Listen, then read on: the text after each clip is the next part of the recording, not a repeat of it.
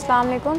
जी madam बताइए हम आपकी क्या मदद कर सकते हैं? हम यहाँ एक रेस्टोरेंट में हैं और एक लड़का हमें हरासा कर रहा है। उसने हमारी पिक्चर्स भी ली हैं। आप परेशान ना हो अभी पुलिस आपके पास भिजवा रही है। कंट्रोल फ्रॉम आईसी थ्री एक लड़का रेस्टोरेंट में लड़की को हरासा कर रहा है। फ़ौरन रिस्पॉन्ड करवाएँ। Over Roger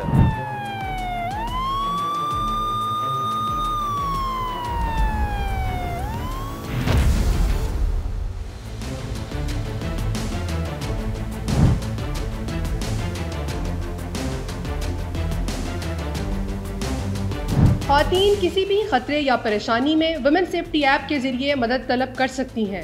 Punjab police women safety app download करें और अपना तहफ़ यकीनी बनाएँ।